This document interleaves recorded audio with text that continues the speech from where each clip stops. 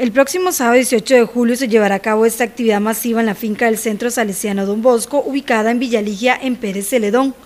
A pocos días de la actividad, la Vicaría Episcopal de Comunicación Social de la Diócesis de San Isidro del General brindó una conferencia de prensa en la finca El Clero, ubicada en La Hermosa.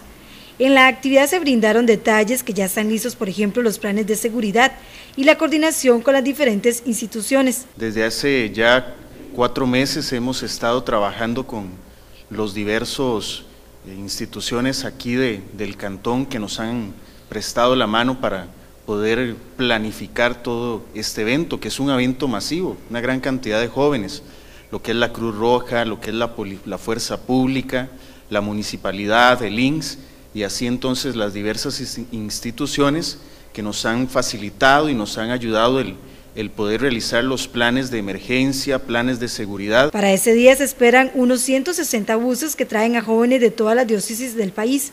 Precisamente para evitar algún colapso vial es que se realizó un horario de recibimiento. También ya se han establecido planes para que ingresen los autobuses, que no todos van a ingresar a la misma hora, porque si no colapsaría completamente lo que es el ingreso al centro Don Bosco. Así que se ha comunicado a las diferentes diócesis por medios también de, algunas informaciones para que lleguen a cierta hora y así entonces puedan dejar a los jóvenes en, las diversas entradas. Tenemos tres disponibles para el ingreso. En cuanto a la agenda, comenzarán ese día a las seis y media de la mañana con el ingreso de los participantes.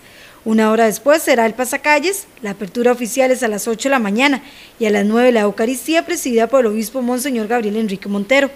Además, se contará con la presencia de la conferencia episcopal y podría también asistir el presidente de la República, Luis Guillermo Solís. Luego comienza la música con Cenit, Tepeyac, Infiltrados, Eolian y Efesios 610. A las 2 de la tarde será la hora santa y a las 3 de la tarde el concierto internacional con Son by Four.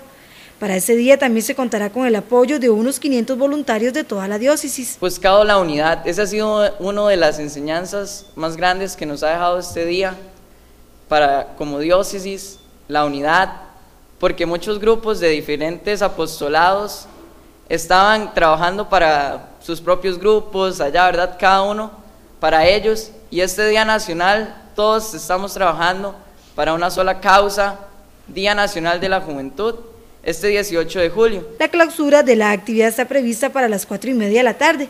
Cabe indicar que el costo de la entrada es de 2.000 colones y la camiseta tiene un valor de 5.000 colones.